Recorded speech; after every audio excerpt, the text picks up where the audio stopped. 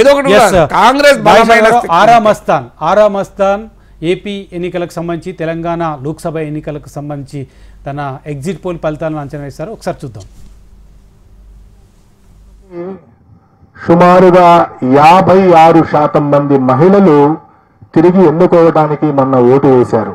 ఈ రాష్ట్రంలో ఉన్నటువంటి అన్ని వర్గాల మహిళల్లో ఎస్సీ ఎస్టీ బీసీ మైనార్టీలు అనేది కాదు ఓవరాల్గా మహిళల్ని శాంపిల్గా తీసుకుంటే యాభై ఆరు శాతం మంది మహిళలు ఈ పార్టీకి వైఎస్ఆర్ కాంగ్రెస్ పార్టీకి ఓటు వేసినటువంటి పరిస్థితి.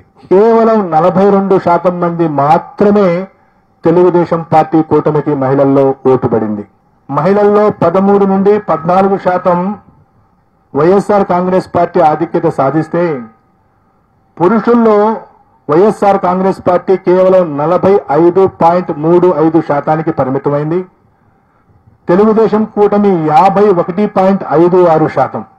అంటే సుమారుగా ఆరు శాతం మగవాళ్ళలో తెలుగుదేశం పార్టీకి ఓట్లు ఎక్కువ పట్టడం మనం చూశాం.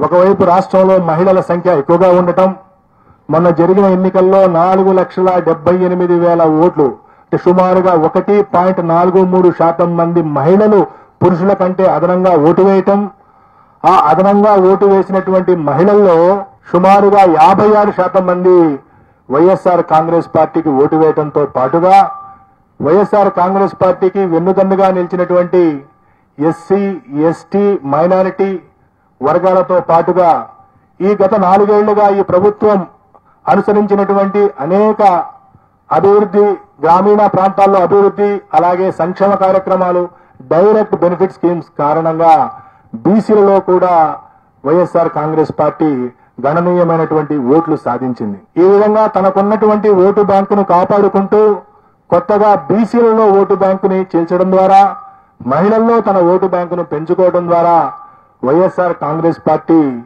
ఈ రోజు తిరిగి రాష్ట్రంలో మరొకసారి అధికారంలోకి రాబోతా ఉంది.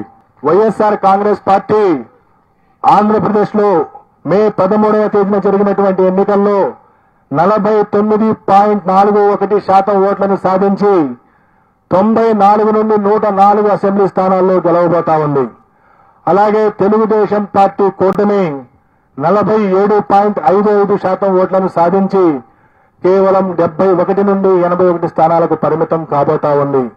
ఇతర పార్టీలు ఇండిపెండెంట్ అభ్యర్థులు మూడు పాయింట్ సున్నా నాలుగు శాతం ఓట్లకు పరిమితం కాబోతా ఉన్నాయి. సుమారుగా రెండు శాతం ఓట్ల ఆధిక్యతతో తెలుగుదేశం పార్టీ కూటమి కంటే సుమారుగా ఇరవై ఇరవై ఐదు స్థానాల్లో వైఎస్ఆర్ కాంగ్రెస్ పార్టీ ఆధిక్యత సాధించి మరొకసారి ప్రభుత్వాన్ని ఏర్పాటు చేయబోతా ఉంది. అలాగే పార్లమెంటు విషయానికొస్తే ఆంధ్రప్రదేశ్లో ఉన్నటువంటి ఇరవై ఐదు పార్లమెంటు స్థానాల్లో నలభై ఎనిమిది పాయింట్ రెండు తొమ్మిది శాతం ఓట్లను సాధించి వైఎస్ఆర్ కాంగ్రెస్ పార్టీ పదమూడు నుండి పదిహేను పార్లమెంటు స్థానాలను గెలవబోతా ఉంది. అలాగే తెలుగుదేశం కూటమి నలభై ఏడు పాయింట్ ఆరు ఎనిమిది ఓట్ల శాతాన్ని సాధించి పది నుండి పన్నెండు పార్లమెంటు స్థానాల్ని గెలవనున్నది. నాలుగు పాయింట్ సున్నా మూడు శాతం ఓట్లు కాంగ్రెస్ పార్టీ మరియు ఇతర పార్టీలకు లభించినాయి. ఏ పార్టీ కూడా ఇంకా వేరే పార్టీలకు సీట్లు లభించేటువంటి అవకాశం లేదు. కడప పార్లమెంటు నుండి పోటీ చేసినటువంటి శ్రీమతి షర్మిల గారు అక్కడ గణనీయమైనటువంటి ఓట్లు పొందుతున్నప్పటికీ అక్కడ గెలిచే పరిస్థితి లేదు. వారికి అక్కడ డిపాజిట్ కూడా దక్కేటువంటి పరిస్థితి లేదు. ఆవిడ సుమారు పన్నెండు శాతం ఓట్లకు పరిమితం కాబోతా ఉన్నది. ఈ విధంగా కాంగ్రెస్ పార్టీ సుమారుగా మూడు శాతం ఓట్లు పార్లమెంటు స్థానాల్లో చీల్చిన కారణంగా వైఎస్ఆర్ కాంగ్రెస్ పార్టీ గెలవలసినటువంటి మరో మూడు స్థానాలని కోల్పోబోతా ఉంది. అయినప్పటికీ ఎన్డీఏ కూటమి కంటే కూడా రెండు మూడు పార్లమెంటు స్థానాలను అధికంగా సాధించబోతా ఉంది. సుమారుగా పదమూడు నుండి పదిహేను స్థానాలు వైఎస్ఆర్సీపీ పది నుండి